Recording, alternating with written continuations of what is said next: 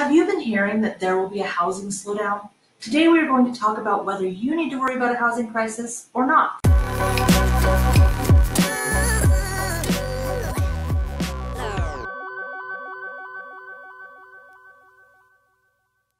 Hi, I'm Angela Duong with Coldwell Banker Tugaw Realtors and MadHomesUtah.com. If this is your first time to our channel, please go ahead and take a moment to hit that subscribe button down below. Okay, here's the deal. The word recession is all over the financial websites and financial newspapers.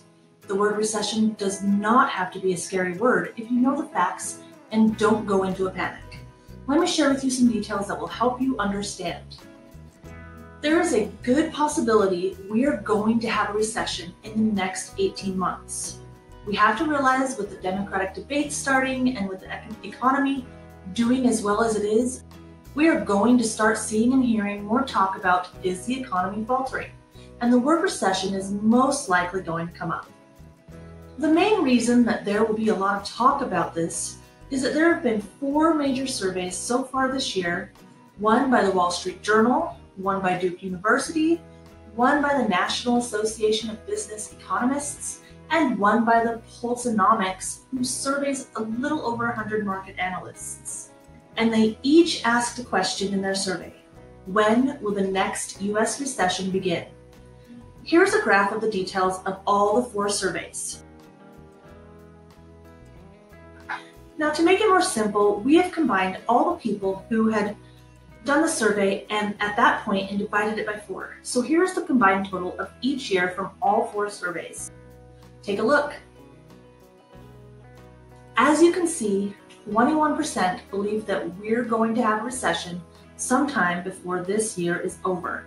And 46% believe that we're going to have a recession sometime next year. So as you can see, 67% that's two out of three of all the people surveyed in all four of those surveys said that we're going to come across a recession between now and the end of next year. And as you most likely know, next year is a presidential election year. Here are two quotes from last year when they did a study and looked back at 2008.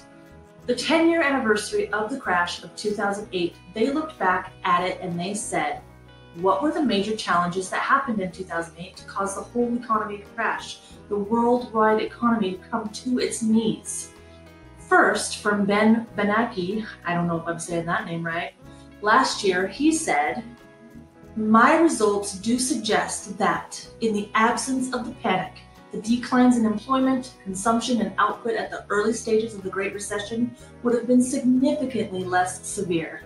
So, what Ben is saying if people didn't panic, 2008 would have been nowhere near as bad as it actually wound up being. The second quote is from Warren Buffett in a 2018 Wall Street Journal interview again, looking back at 2008, 10 years later, he said, Fear spread like a tsunami in 2008. So, what we are saying is the word recession is going to come up and people are going to equate it to what happened in 2008. Here is something to remember recession does not equal housing crisis. Let's go to the Merriam-Webster dictionary and look at the definition of the word recession.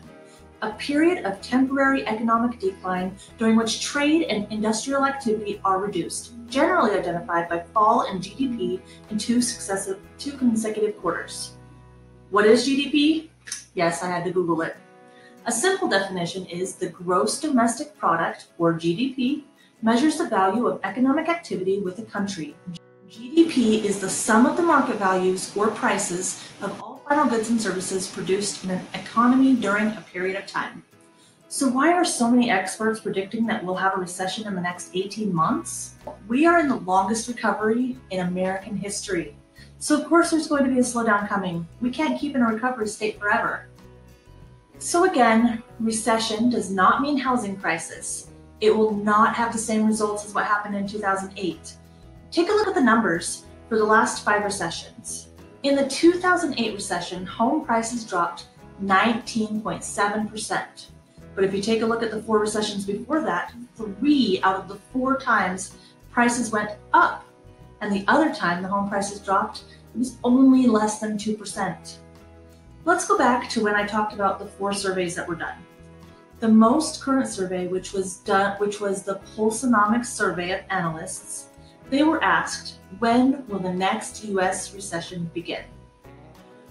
On just that one, 9% said 2019 and 50% said the recession would happen in 2020. That's 59% that believes that the next recession is coming in the next 18 months.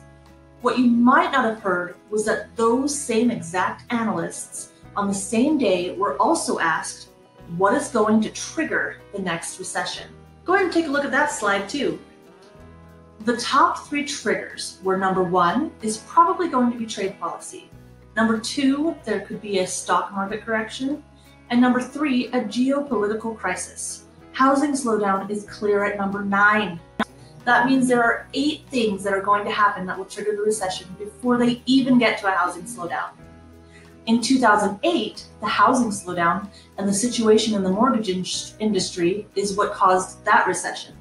This year, it is not even in the top eight. Those same people on the same survey also projected where the prices were going to be over the next five years. Take a look at this slide. As you can see, this year should finish up at about a 4.1% appreciation. It's going to slow up over the next two years and then will recover to normal historical appreciations, which is somewhere between 3.5 and 4% on an annual basis. So as you can see, those same people projecting a recession are also saying home prices are not going to depreciate. Appreciation is going to decelerate, but prices will still continue to go up. So all we are going to see is a slowdown in the amount or the percentage that homes are going up. I like what Morgan Housel, a well-renowned financial analyst, said. An interesting thing is the widespread assumption that the next recession will be as bad as 2008. Natural to think that way, but statistically highly unlikely. Could be over before you realized it began. Well, that's it guys. I hope that you found this video informational. Please consider sharing to share to get the word out that there is no need to panic, that we're not going to have a housing crisis. And again, I'm Angela Duong with Coldwell Banker Tugaw Realtors and MadHomesUtah.com. Remember to hit that subscribe button down below, comment, like, share, and look forward to seeing you in the next video.